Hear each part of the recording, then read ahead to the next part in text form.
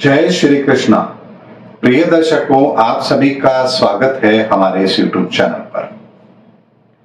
दर्शकों, पिछले कुछ समय से हम रोज कुछ ना कुछ ऐसी घटनाएँ घटित होते हुए देखते हैं, या न्यूज़पेपर में पढ़ते हैं, या टीवी पर ऐसी न्यूज़ चलती है, जिसको देख करके मन थोड़ा व्यथित भी आवश्यक होता है।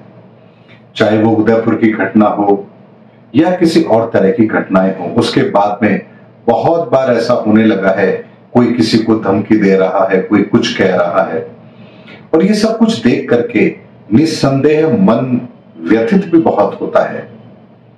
लेकिन जब जब ब्रह्मांड में परिस्थितियाँ विकट होती हैं, इस तरह की घटनाएँ धरा पर अवश्य होती है। ऐसे में आखिर ये सब कुछ कब तक चलेगा? कब इस तरह की खबरों से हमें थोड़ी आज़ादी मिलेगी? या थोड़े समय के लिए ही सही हमें कम से कम इस तरह की खबरें तो ना देखने को मिले, ऐसा आखिर कब होगा? दर्शक एक ज्योतिष आकलन में आप लोगों को दे रहा हूँ। जैसे ही राहु के घर से, अर्थात मेष राशि से मंगल बाहर निकलेंगे, हालाँकि मंगल की ही राशि है, मेष राशि उसी में राहु है, लेकिन अभी सात है। जैसे ही मंगल मेष राशि को छोड़ करके वृषभ राशि में प्रवेश करेंगे और उसके पश्चात राहु से मंगल की दूरी जैसे ही 15 डिग्री से अधिक होगी। उसके पश्चात आप इस तरह की घटनाओं पर लगाम लगते हुए अवश्य दिखेंगे। अर्थात उसके बाद में पुलिस प्रशासन भी अपना कार्य ढंग से कर पाएगी। लोगों की बुद्धि जो भ्रमित हो रही है, वो भी सही रास्ते पर आएगी और इस तरह की घटनाओं पर आप अंकुश लगता हुआ अवश्य दिखेंगे। ऐसे में बहुत लंबा समय ये नहीं है 20 अगस्त तक का समय आप ये मान के चलिए, जो इस तरह की घटनाओं को घटित करवाएगा। लेकिन 20 अगस्त के बाद में हम इन घटनाओं में कमी आते हुए अवश्य देखेंगे। दर्शकों, इस समय पर व्यक्ति विशेष को भी कुछ नेगेटिव चीज़ें देखने को मिल रही है। आगजनी की घटना होना, स्वास्थ्य के अंदर दिक्कत आना, फालतू के खर्चे होना स्वभाव के अंदर उग्रता आना, ये सब कुछ भी हम अपने जीवन में घटित होते हुए देख रहे हैं, जिसकी जैसी कुंडली है, जिसका जो लग्न है, उसके आधार पर ये प्रभाव हमको देखने को मिल रहे हैं। इन प्रभाव के अंदर भी 20 अगस्त के बाद में आपको राहत ज़रूर मिलेगी।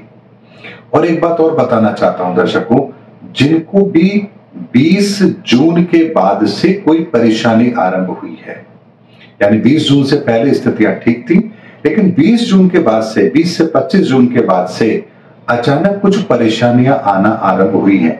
चाहे वो किसी भी तरह की हो, चाहे आर्थिक परेशानी हो, काम नहीं बन रहे हैं, कोई सरकारी बाधाएँ हैं, या किसी भी तरह की कोई परेशानी है तो 20 अगस्त के बाद में आपको उस परेशानी से भी राहत अवश्य मिलेगी।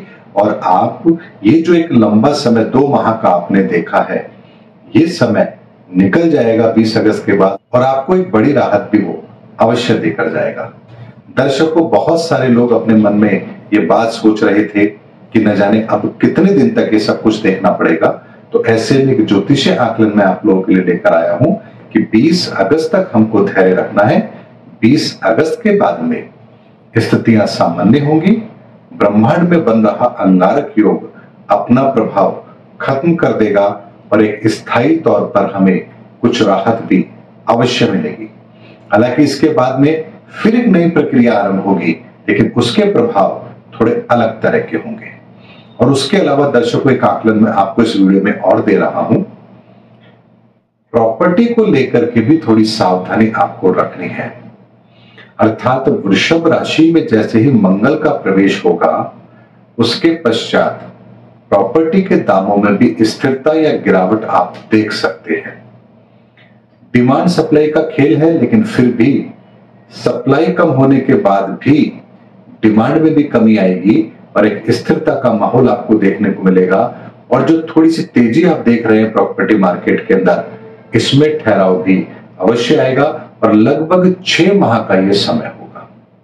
ऐसे में आप यदि कोई प्रॉपर्टी में निवेश कर रहे हैं तो आराम से पेशेंस रखिए। इस छह माह के अंदर आपको कोई अच्छी डील मिले तो ही आप प्रॉपर्टी में निवेश कीजिए। अन्यथा हड़बड़ाहट और जल्दबाजी के अंदर आप कोई भी सौदा करने की गलती ना करें।